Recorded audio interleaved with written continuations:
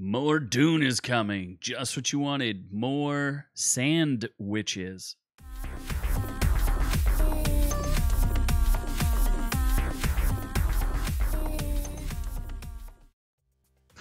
I can see you're not laughing at that last joke, but we're going to talk about the witches of Dune. That's right, the Bene Gesserit.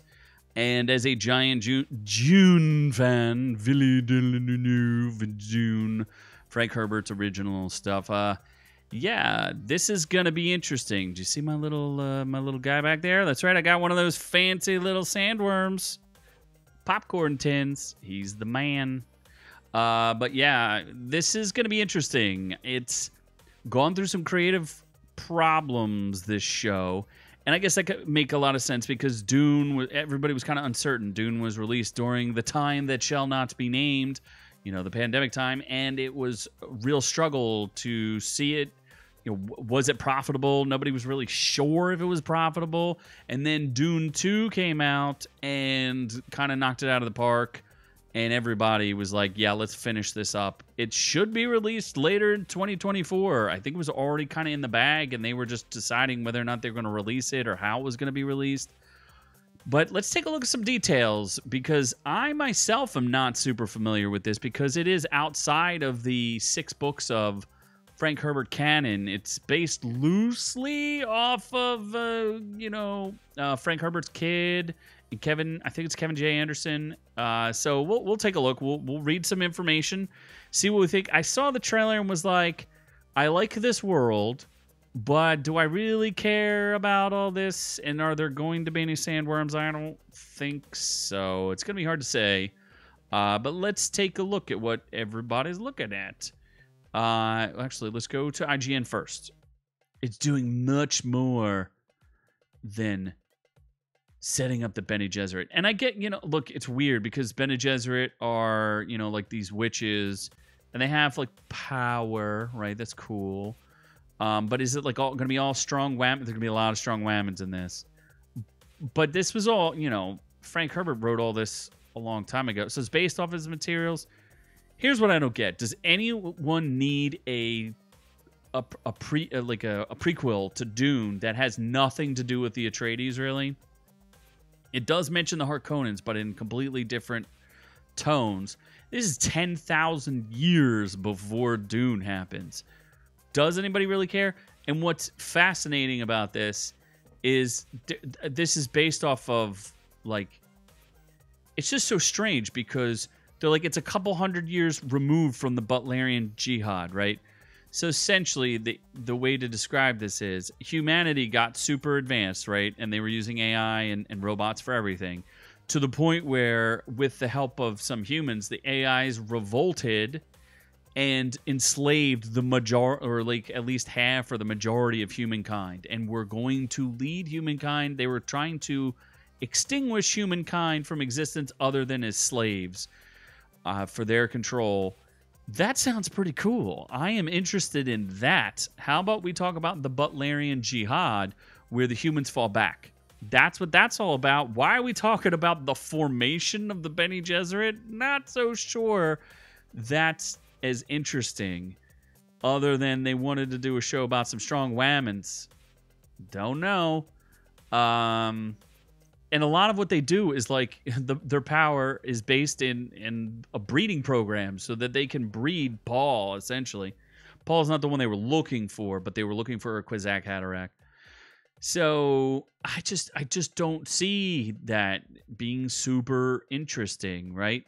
And even the the footage looks okay, but and I like the sci-fi stuff of it. Yeah, it's loosely based off of loosely Frank Herbert's son Brian, so Brian Herbert and Kevin J. Anderson, Sisterhood of Dune, which will focus on warring factions, including the Bene Gesserit, the Mentats, and everybody's using space in the Space Guild, right?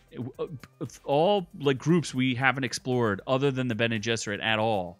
So this will be completely unfamiliar for you. I guess it will help introduce the Space Guild and Mentats, which are important if they're really going to adapt uh, Dune Messiah properly. So maybe that's kind of part of what they were thinking.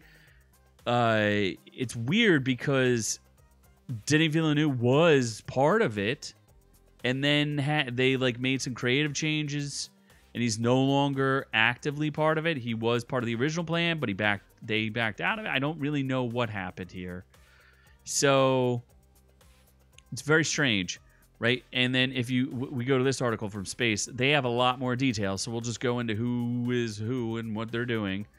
Uh, but all of a sudden, Dune's hot now, right? They're they're finally actually adapting things properly, right? I guess that's what's going on here.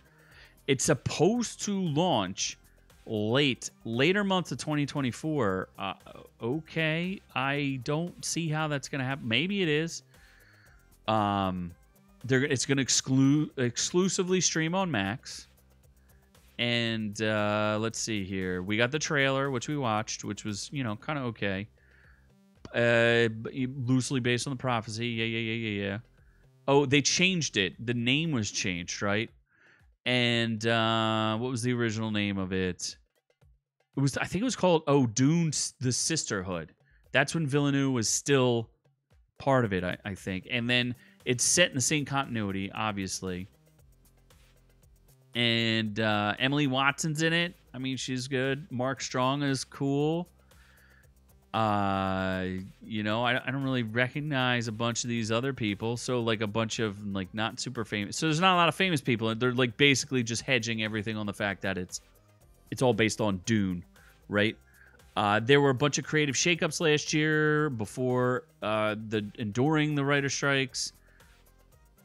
D- uh, Denis uh, were all were both part. Denis and his writing partner for both Dune movies were both originally part of it, and then they were pushed out of it. I guess hard to say what is going on. But now the creator and the co-showrunner and pilot writer Diane Ademo John, whatever Ademu John, The Haunting of Bly Manor. I, I, don't know anything about that. Was replaced. She was replaced by Alison Schapker, Westworld, as solo showrunner. And we all know that, you know, Westworld started off good, but got ran into a wall.